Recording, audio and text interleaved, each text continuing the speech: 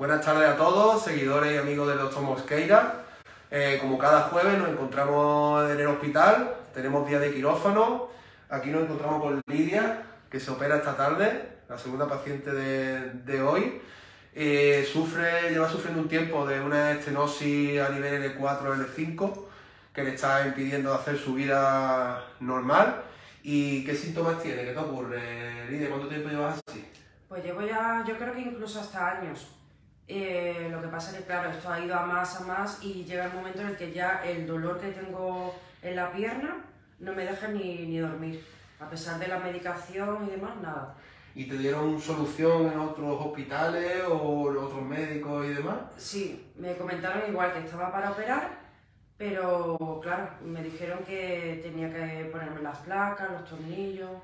Sí, fijaciones y demás. Eh, ella se va, se va, el tipo de cirugía que se va a realizar es una cirugía mínimamente invasiva. Son 5 centímetros como máximo de incisión, los cuales eh, le permite eh, a las 24 horas de, su cirugía poder estar ya en casa con el alta y tal. una recuperación mucho más rápida y con menos riesgo de complicaciones y tal. Y, pues volver a vida normal lo antes posible, que de eso se trata.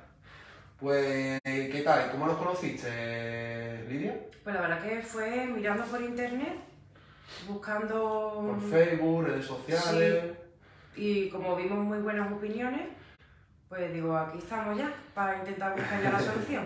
Se ha, animado a intervenirse y en un ratito está en quirófano con el doctor Mosqueira y seguro que va a salir todo muy bien. ¿Vale? Pues buenas tardes a todos y que otro día más, pues aquí estamos en el hospital. Hasta luego. Hasta luego.